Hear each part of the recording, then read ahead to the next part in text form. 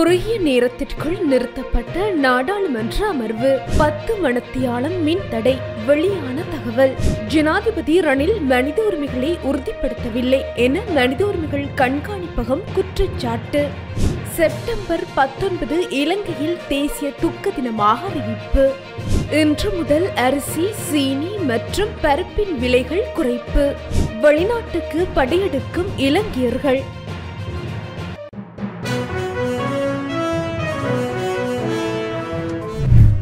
சர்வதேச நாணய நிதியத்துடன் ஏற்படுத்திக் கொள்ளப்பட்ட இணக்கம் தொடர்பில் நாடாளுமன்றில் விவாதம் ஒன்றை கோர உள்ளதாக எதிர்க்கட்சி இன்று நாடாளுமன்றில் தெரிவித்தது எதிர்க்கட்சியின் பிரதம அமைப்பாளர் லக்ஷ்மண் கிரியல்ல இதனை இன்று நாடாளுமன்றில் தெரிவித்தார் අපි දන්නව රට වැටලා තියෙන තත්ත්වේ. එම නිසා විවාදයට කලින් අපිට යම් කිසි රජයේ අ, රජය මේ ජාත්‍යන්තර මුල් අරමුදලත් එක්ක ඇති ඇතිවෙච්ච අ, එකගතාවය හරි ඒක අපේ පාර්ලිමේන්තුවේ මේසෙවුඩ තියෙන්න ඕන.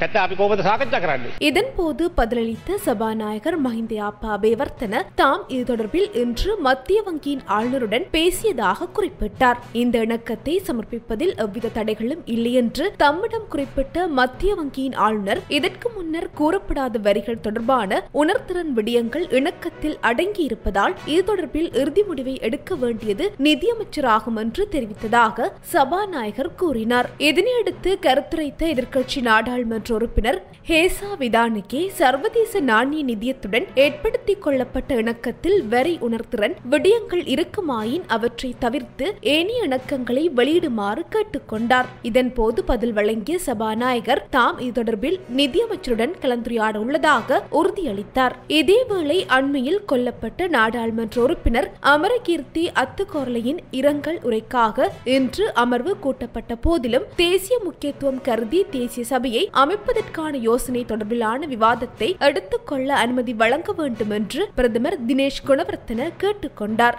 எனினும் தேசிய சபை தொடர்பான யோசனை இன்னும் நாடாளுமன்ற ஒழுக்கு பத்திரத்திற்கு வரவில்லை என்று சபாநாயகர் அறிவித்தமையை அடுத்து நாடாளுமன்றம் எதிர்வரும் இருபதாம் தேதிக்கு ஒத்திவைக்கப்பட்டது.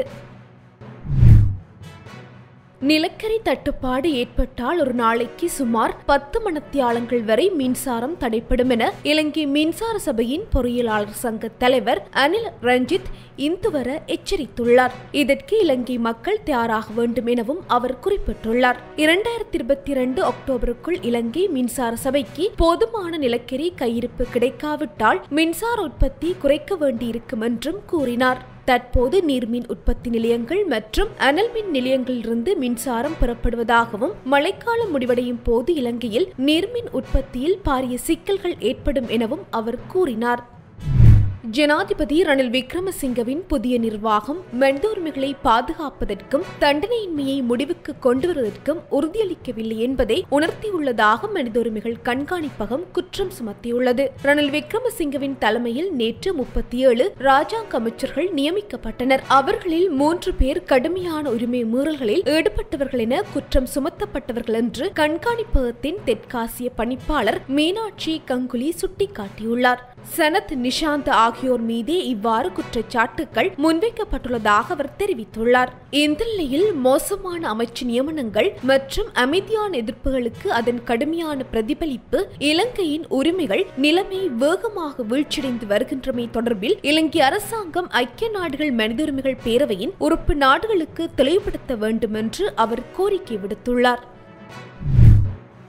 பிரித்தானிய அரசின் இரண்டாம் எலிசபெத்தின் மறைவையொட்டி செப்டம்பர் பத்தொன்பதாம் தேதி திங்கட்கிழமை தேசிய துக்க தினமாக பிரகடனப்படுத்தப்பட்டுள்ளதாக ஜனாதிபதி ஊடகப் பிரிவு தெரிவித்துள்ளது. இதற்கான பணிப்புரைகளை பொது நிர்வாக உள்நாட்டு அலுவல்கள் அமைச்சுக்கு ஜனாதிபதி ரணில் விக்ரமசிங்க விடுத்துள்ளார் எனவும் ஜனாதிபதி ஊடகப் பிரிவு தெரிவித்துள்ளது. இதேவேளை எதிர்வரும் பத்தொன்பதாம் திகதி வரை இலங்கையில் அரசு நிறுவனங்களில் தேசிய கொடி அரைக்கம்பத்தில் பறக்கவிடப்படும் என ஜனாதிபதி ஊடகப் பிரிவு தெரிவித்துள்ளது. உள்ளது சதோசவில் விற்பனை செய்யப்படும் இறக்குமதி செய்யப்பட்ட வெள்ளி அரிசி சிவப்பு பருப்பு வெள்ளி சீனி மற்றும் உளுந்து ஆகியவற்றின் விலைகளை குறைக்க நடவடிக்கை எடுக்கப்பட்டுள்ளதாக சதோச தலைவர் தெரிவித்துள்ளார். இன்று முதல் இந்த விலைகள் குறைக்கப்படும் என சதோச தலைவர் மேலும் தெரிவித்துள்ளார். அதன்படி இருநூற்றி பத்து ரூபாவாக இருந்த இறக்குமதி செய்யப்பட்ட ஒரு கிலோ வெள்ளி அரிசியின் விலை நூற்று எண்பத்தி ஐந்து ரூபாவாக குறைக்கப்பட்டுள்ளது. அத்துடன் இருநூறு ரூபாயாக இருந்த இறக்குமதி செய்யப்பட்ட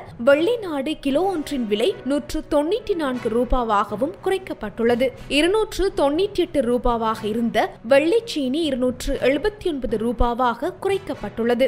மேலும் இறக்குமதி செய்யப்பட்ட ஒரு கிலோ வெள்ளை கொண்டை கடலை நூற்றி எண்பத்தி ஐந்து ரூபாய்க்கும் இறக்குமதி செய்யப்பட்ட வெள்ளை நாட்டு பயறு ஒரு கிலோ நூற்று தொன்னூற்றி நான்கு ரூபாய்க்கும் சிவப்பு பருப்பு ஒரு கிலோ நானூற்று இருபத்தி ஒன்பது ரூபாவுக்கும் சதோச ஊடாக மக்கள் கொள்வனவு செய்ய முடியும் என அறிவிக்கப்பட்டுள்ளது.